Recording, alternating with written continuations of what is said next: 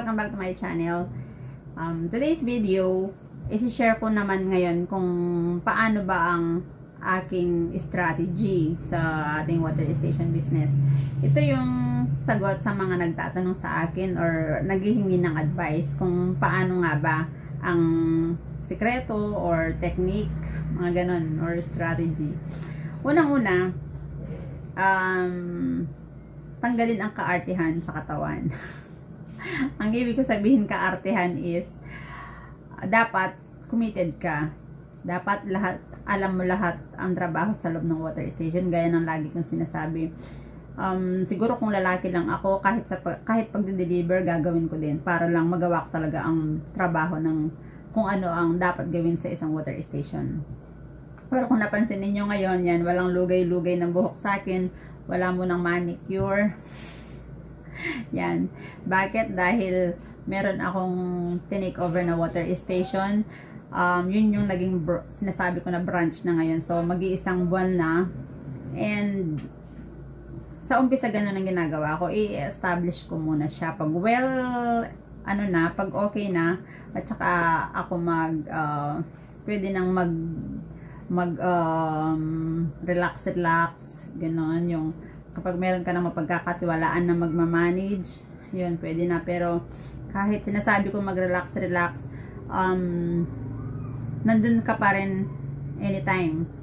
I mean, wala ka man personal doon, dapat lagi kang naka-on or pag tinawagan ka nila, pag tinawagan ka ng nagmamanage mo, dapat agad-agad makakasagot ka. Dahil, syempre yung nagmamanage, hindi naman sila nakakapag-decide lahat, especially sa mga customers. Minsan may manghihiram ng galon, minsan may mag inquire kung paano ba ang um, sa mga water dispenser, mga ganon. So, syempre, ang pinag-manage mo, tatawagan ka. So, dapat lagi kang active. Laging may phone na dala. So, yun, at least kahit wala ka, uh, parang, ano lang, just text away lang, ganun. Masasagot mo ang mga tanong nila para hindi maghintay ng matagal ang mga customers. So, anyway, gaya sabi ko, ako ang um, nagmamanage muna ngayon doon sa bagong uh, tinake over ko ng water station. Pero sooner, ang aking anak na panganay siya ang uh, pagmamanage ko doon. And then, mag start na rin yung hiner na driver. So, mag start na rin on Monday. Kaya magkakaroon na ako ng konting oras ulit sa pagbablog. So today is Saturday, nandun yung isa kong anak na ka, uh, katulong ngayon ng panganay, si JM at si Erold. So yun. Eh. Yan. So sa ngayon, yun ang anak kong dalawa ang nandoon dahil Saturday walang pasok yung isa. Pero yung panganay siya talaga ang magmamanage nun. And then, uh, magkakaroon din naman siya ng driver at tapos ako, um, pasilip-silip na lang doon, o, di ba? General manager ang peg.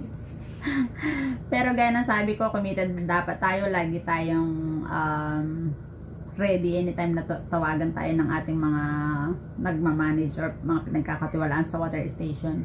So that's all for today's video. If you are new here, please don't forget to subscribe and click the bell for notification. Ayan, para naman po ma-notify kayo sa aking mga susunod na video. Maraming salamat po. Ito po si Esme Estrada at ito ang aking adventure. At remember, water is life.